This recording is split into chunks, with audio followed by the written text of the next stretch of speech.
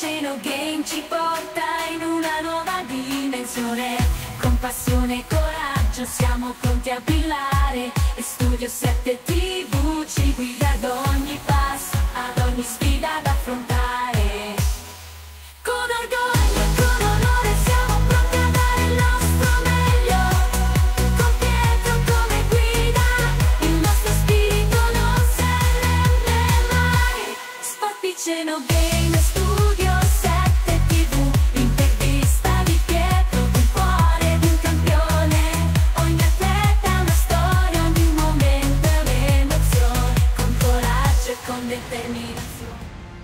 Studio 7 TV e Sport Piceno Game presentano l'intervista di Pietro, ospite della puntata. in superficie mentre fai shopping di vibes col tuo carrello del... Benvenuto a una puntata, abbiamo ospite un eh, giovane cantautore, Victor Ukmar. E a questo punto la prima domanda ci sorge spontanea. Se dovessi descrivere per chi non ti conosce, oggi chi è Victor? Come lo descriveresti? Allora, ehm, beh, penso che Vic sia una persona eh, con diverse sfaccettature. Penso che sia, sia- sono sia una persona molto, molto profonda e molto emotiva che eh, iperanalizza tantissime delle cose che mi accadono in questo momento durante il giorno e anche che mi sono accadute e che forse mi accadranno, quindi sono un po' dappertutto, però allo stesso tempo sono anche quell'amico, penso, spero di essere quell'amico che tira sempre a fare una battuta fuori dal nulla e mm, fa, fa un po' ridere tutti e si rende un po' ridicolo davanti a tutti per smorzare un po' ehm, l'aria quando a volte nella vita ce n'è bisogno. E, mm, quindi sì, ho entrambe queste parti mie. E a questo punto parliamo tanto dell'ultimo singolo, come nasce questo singolo, e lo facciamo pronunciare a te, e come nasce questo singolo, da cosa trae ispirazione?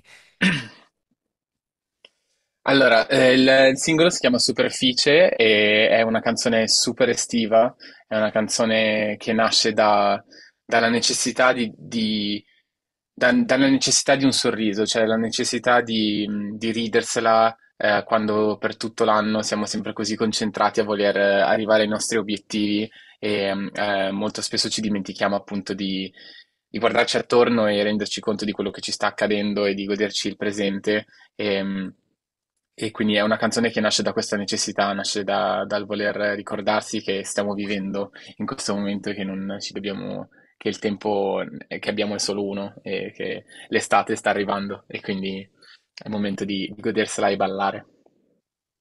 Nella realizzazione dei, dei tuoi testi, eh, pri- nascono prima le canzoni, nasce prima un riff, nasce un beat, oppure nasce una parola, una frase, oppure possiamo dire nascono insieme.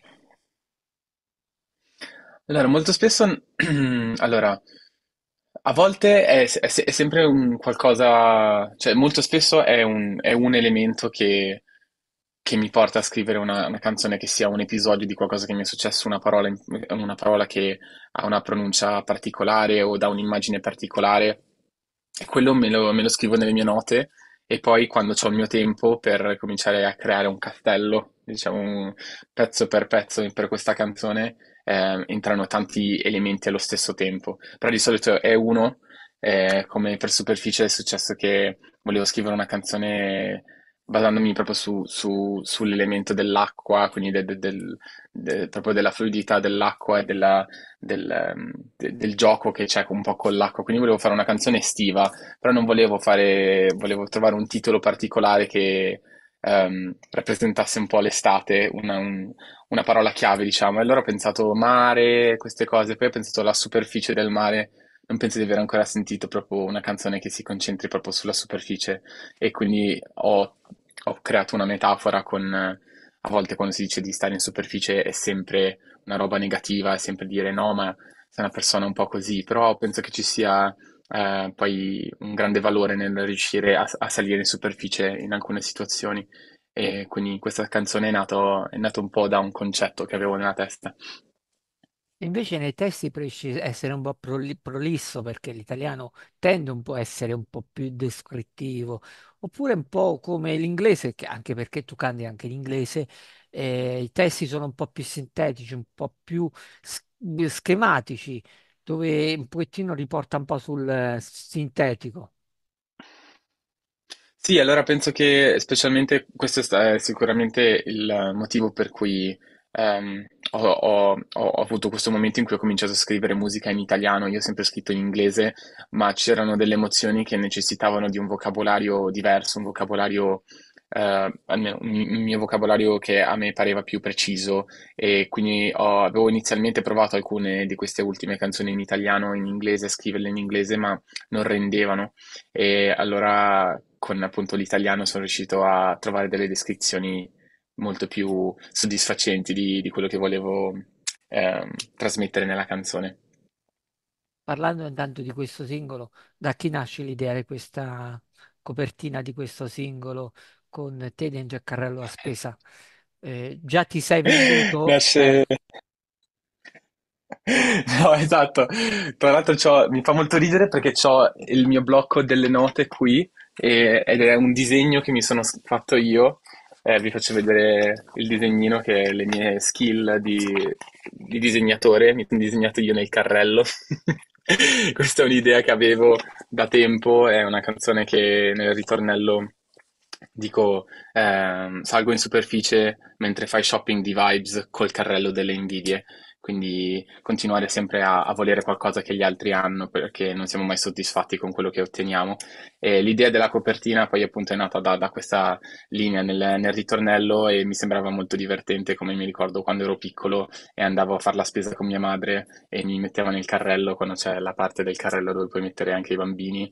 E, mi dava quel senso di, di- di gioco e quindi ho voluto ricreare eh, un po' tutta questa metafora sulla, sulla copertina dove mi stanno spruzzando dell'acqua addosso dei miei amici.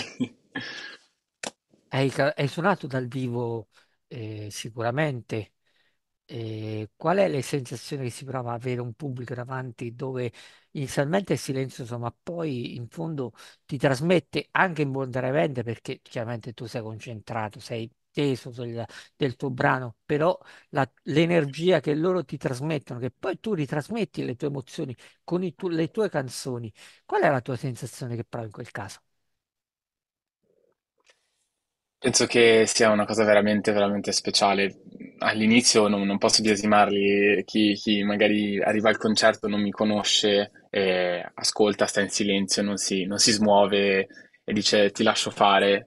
Allora io, io lascio che mi lasciano fare, nel senso io sono sul mio, sono sul mio palco e racconto le mie storie, sono contento delle storie eh, e orgoglioso delle storie che, che racconto. E poi penso che ci siano, cerco sempre di inseguire questo ehm, le emozio- le- emozioni umane sono, sono condivise tutti i giorni, nel senso siamo tutti esseri umani che passano attraverso episodi felici o tristi e quindi eh, in quel momento quando scrivo una canzone miro anche a cercare di trovare una connessione con gli altri che spero, spero di ottenere, quindi quando, quando- quando canto le mie canzoni al concerto e magari all'inizio le persone non, non rispondono, cerco, cerco di accentuare proprio e magari di renderlo un po' più teatrale l'esibizione per dare proprio l'idea del tipo di emozione di cui sto parlando, per dire anche voi avete sentito questa emozione, vero? Non sono l'unico. E quindi in quel momento lì penso ci sia sempre un po' un click e ci sono le persone che cominciano appunto a muoversi, a sorridere, a alzare il cellulare, a fare un video.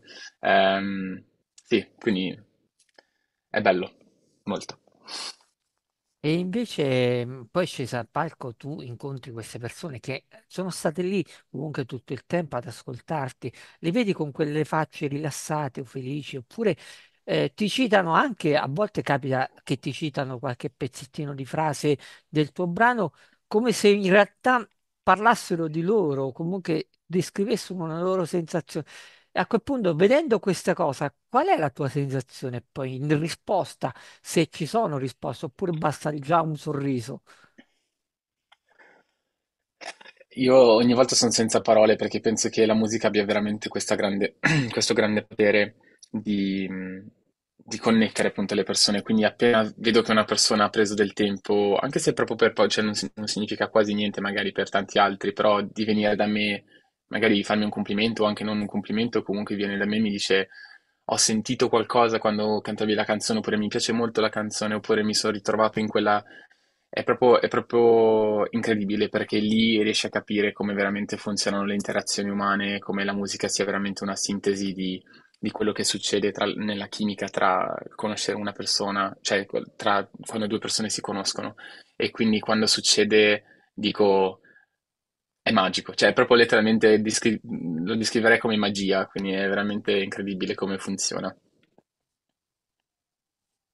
E invece eh, ci sono artisti in cui un pochettino eh, involontariamente ti porti, anche perché eh, crescendo musicalmente uno ascolta la musica, però un pochettino te lo porti un po' eh, non solo nel come lavorare sulla canzone, ma soprattutto anche sull'impostazione, su... un pochettino eh, e se c'è qualche artista poi che ammiri involontariamente. Sì, eh, c'ho, c'ho un, c'ho un bel po' di artisti che, che- che ascolto e penso che uno- uno degli- una delle artiste italiane che ascolto eh, tantissimo è Levante e in Italia penso che la sua penna sia, sia unica, eh, penso che il modo in cui lei scrive cerca di creare immagini ed emozioni, mette insieme immagini e emozioni, ehm, è veramente particolare e quindi lei è una grandissima ispiratrice. ehm, anche artisti come Mahmood o Gaia, che hanno delle influenze, sono italiani entrambi, entrambi ma hanno influenze da, da fuori dall'Italia. Sono entrambi artisti che mi, mi spronano a, eh, ad essere fiero di essere contaminato da altre culture e di, di portare questo di nuovo indietro nella- nel paese in cui sono nato, in Italia, e di creare eh, qualcosa di super, eh, super figo, super bello, super divertente. E invece, secondo te c'è differenza nel trovarsi sopra il palco come artista e essere sotto il palco come fan di quell'artista? Secondo te c'è differenza in, eh, e se c'è, come la rappresenti secondo te? Eh, la, la differenza tra l'essere l'artista sul palco e il fan sotto il palco? Eh, bella domanda. Beh, secondo me, appunto, una volta che stiamo, stiamo parlando di musica, si parla di una comunicazione tra una persona e un'altra persona, quindi per quanto una persona possa pensare, sì, l'artista è su un palcoscenico, quindi è fisicamente più in alto di noi, è come se ci stesse comandando qualcosa, allo- siamo sullo stesso piano, nel senso siamo tutti esseri umani che cercano, la musica è un altro modo di comunicare, quindi penso che quando trovi proprio quell'artista speciale, ci sono degli artisti speciali che veramente cercano di eh, accorciare la, la distanza tra loro come artisti e i fan e tipo si buttano nella folla o vanno a parlare con i fan mentre, mentre cantano e quindi ehm, non vedo, non- gli artisti che seguo io, la maggior parte che seguo io, penso che non mi facciano sentire una, una grande differenza tra uno e l'altro. È come se fossimo tutti a una festa e fosse il momento di uno dei tuoi amici a cantare la canzone nostra preferita. E quindi ehm, è particolare, sì. E dando progetti futuri, oltre a promuovere chiaramente il singolo che è appena uscito? Sì, allora, eh, adesso è appena uscita Superficie, giusto in tempo per l'estate, come, come volevo. E, mm, eh, prima di Superficie è uscito un altro singolo che si chiamava Moai, eh, anche lì una, parto- una parola particolare che la canzone è nata da, da un'immagine in particolare, ehm, della statua. E eh, il prossimo singolo spero che uscirà tra settembre e ottobre, ehm, e sarà il- l'ultimo singolo prima di far uscire un- questo mini album che- a cui sto lavorando, che si chiama Cuore Elemento, e mm, uscirà entro la fine dell'anno, spero. E invece, vola- volando come una farfalla, eh, a questo punto, perché vediamo che c'è una farfalla, eh, c'è un, si- c'è un, un segno, un qualcosa particolare che ti lega a te la fantasia delle farfalle, oppure così nasce per caso quella farfallina?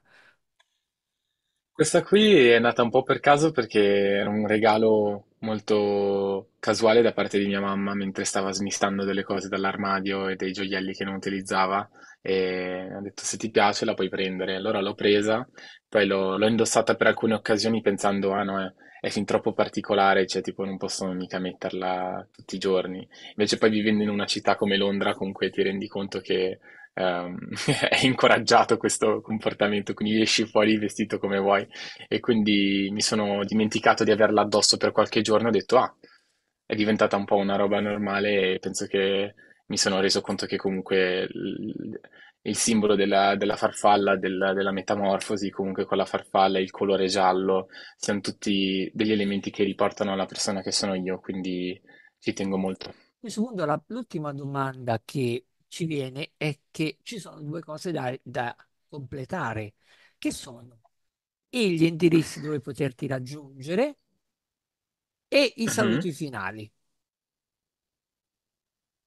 Ok, eh, faccio tutto, faccio tutto insieme.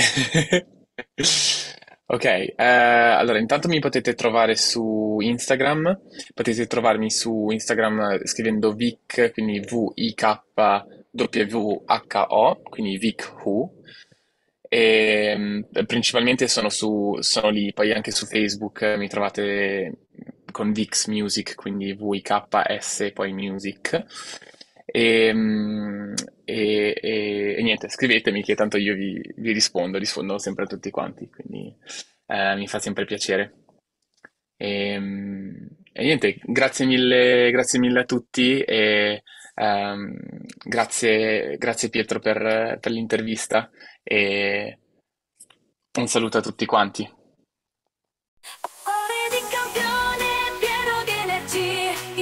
Sporticeno Game ci porta in una nuova dimensione. Con passione e coraggio siamo pronti a brillare e Studio 7 TV ci guida ad